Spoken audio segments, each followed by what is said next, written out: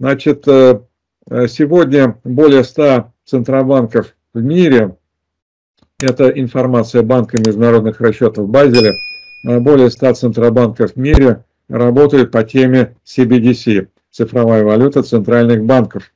Они э, э, изучают этот вопрос. Некоторые приступили уже к разработке э, своих э, цифровых валют. Некоторые уже э, значит, э, тестируют эти цифровые валюты в рамках своих пилотных проектов. Э, Где-то дюжина э, юрисдикций уже легализовали полностью цифровые валюты. Но наиболее крупная из таких юрисдикций – это Нигерия, африканская страна население которой, по-моему, более 250 миллионов человек. Это интересная такая тоже отдельная тема. Вот, ну, я хочу сказать, что это, конечно, проект построения цифрового концлагеря.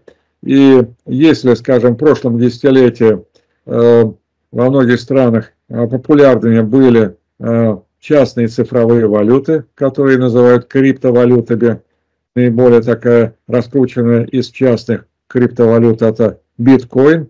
Вот, ну, тогда э, центральные банки говорили, что мы изучаем, мы пока не можем понять, хорошо это или плохо, нам надо поддерживать криптовалюты или наоборот надо запрещать.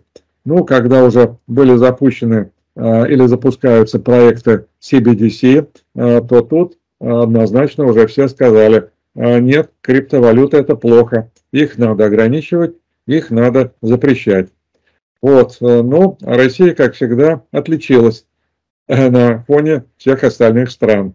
Э, Центральный банк Российской Федерации заявил о том, что на всех парах мы несемся к вот этому самому новому дивному миру, где будет цифровой рубль, а в то же время, значит, сейчас уже практически принято решение, на 99% принято решение о том, что мы будем развивать криптовалютный бизнес, майнинг криптовалютный, значит, и даже криптовалютные биржи, ну, это какой-то уже абсурд, это какая-то уже шизофрения, потому что нельзя одновременно делать ставку и на то, и на другое. В общем-то, и CBDC, и криптовалюты – это все плохо, да и трудно сказать, какой из двух зол является большим, какой меньшим.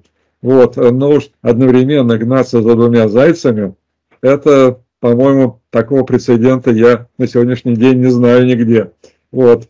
А может быть, это и хорошо, промыслительно, может быть, Господь Бог э, таким образом пытается Россию спасти и от того, и от другого, я не исключаю. Хотя есть и другие версии, что, э, мол, э, значит, Россией управляет не просто глубинное государство, там тоже есть э, свои какие-то фракции, э, какие-то группы. Одна группа э, дает команду нашим денежным властям, развивайте CBDC, а другая группа говорит, нет, делайте ставку на частные криптовалюты.